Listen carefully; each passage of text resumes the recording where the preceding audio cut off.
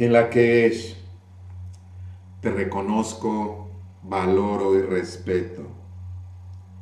Calendario Maya Solkin. Sabiduría ancestral. Conócete a ti mismo, a ti misma, conocerás al universo.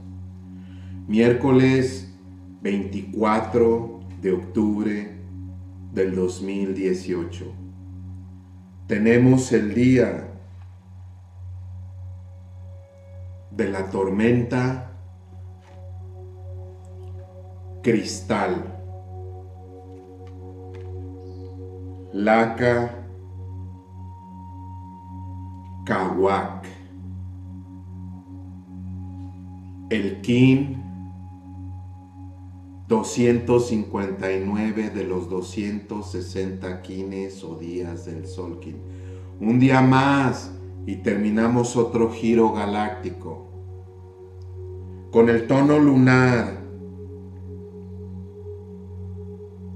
12. Las dos barras y los dos puntos laca.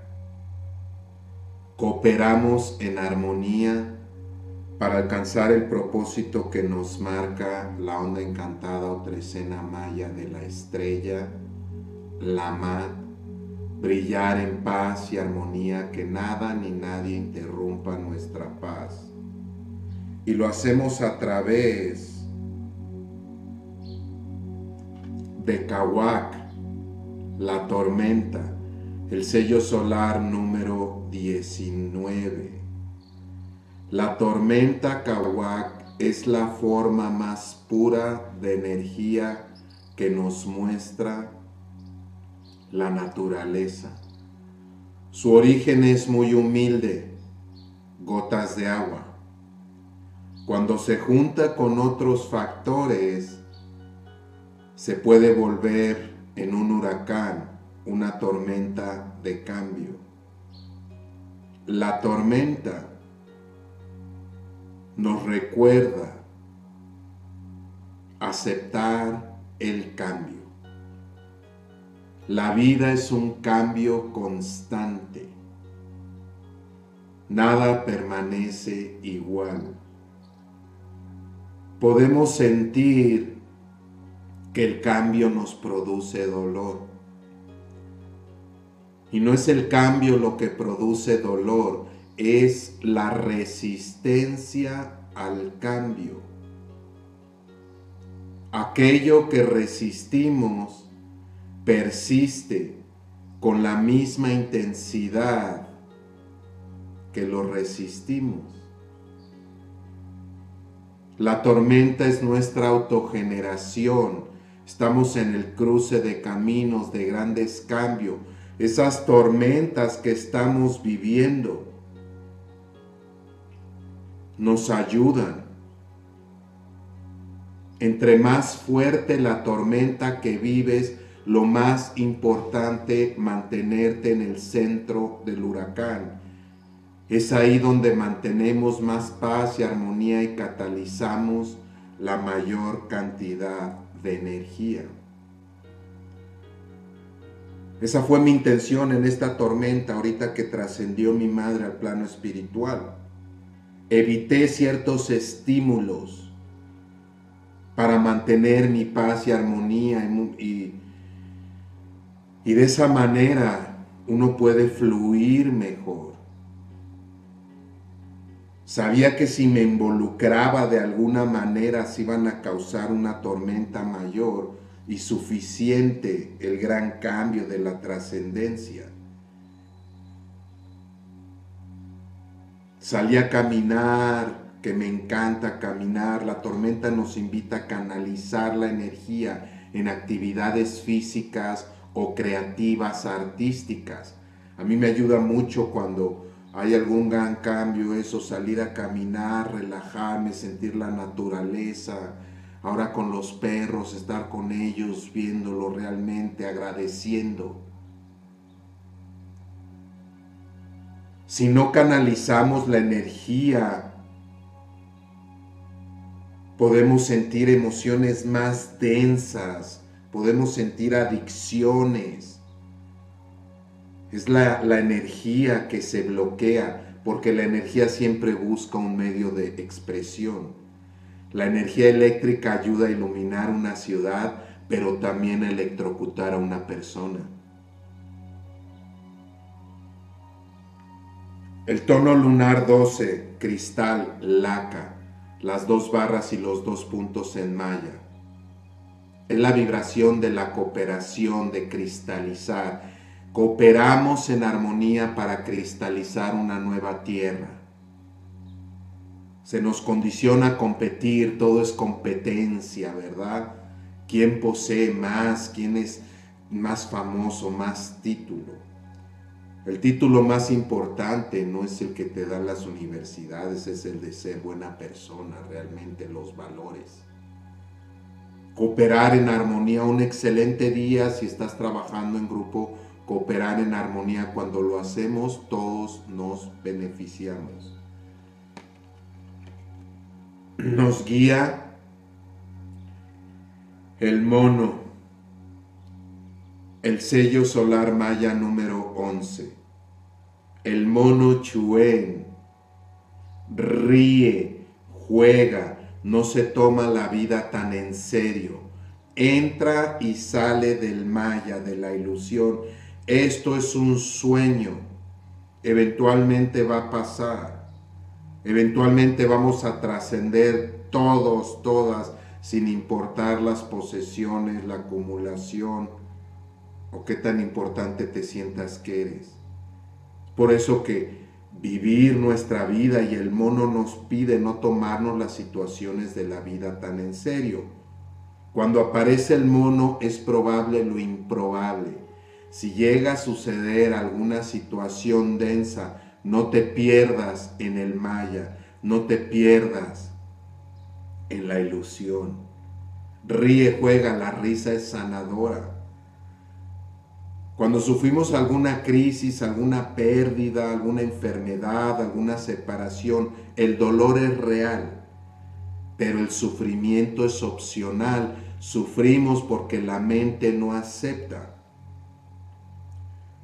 Con la trascendencia de mi madre obviamente hubo dolor, lo siento, no lo niego, no lo reprimo, porque si no, de otra manera, eventualmente se va a somatizar en enfermedad. Pero no me quedo atascado ahí llorando todo el tiempo y pobre de mí, todo. Por eso la mente puede ser tu mejor amiga o tu peor enemiga. Nadie nos puede dañar tanto como nuestra propia mente. La mente nuevamente puede ser nuestra mejor amiga o nuestra peor enemiga y para la mayoría de las personas nos cuesta manejar nuestra mente. La mente cobra vida propia, crea un ego, ¿verdad? Y, le gusta irse al pasado o al futuro, ¿no?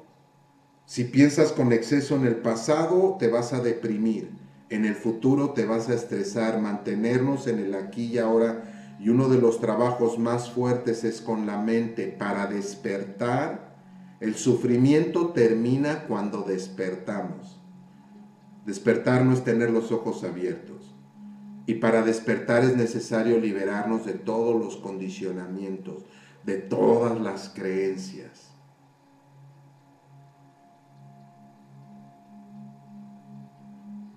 Vivir, reír, se nos enseña que como adultos tenemos que ser serios. La mayoría pensamos que es así, todo tiene que ser serio, no es de niños. No, reír, jugar, ahora más que nunca. He aprendido muchísimo con esta experiencia, con esta trascendencia. Obtenido muchísimo entendimiento. Gratitud infinita. Y bueno, ya casi finalizamos la onda encantada trecena maya de la estrella. La estrella, la mat, estos 13 días nos invita a mantener nuestra paz, nuestra armonía, a brillar como estrellas. Entre más oscura la noche, la estrella brilla más.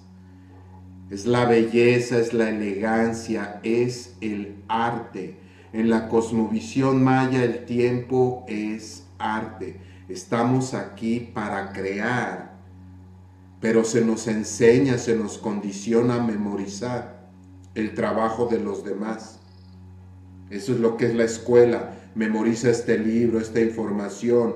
Esto es lo correcto, es lo que, lo que es real, lo que es verdadero y no es cierto. Desde la forma de la tierra, todo lo que nos han enseñado, la mayoría es incorrecto.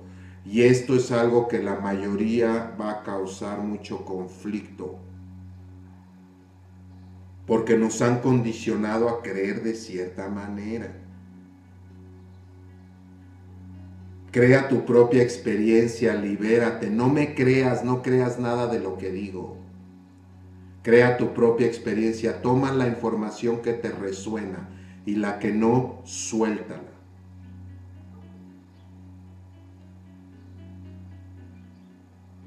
Estoy llevando a cabo este fin de semana, este sábado 27 y domingo 28 tres horas cada día, un taller del calendario Maya Solkin Galáctico. Conoce los sellos, los tonos, características, cómo sacar un kin, cómo sacar un kin análogo, un kin guía, un kin destino, un kin oculto cómo sacar y leer una onda encantada. Seis horas.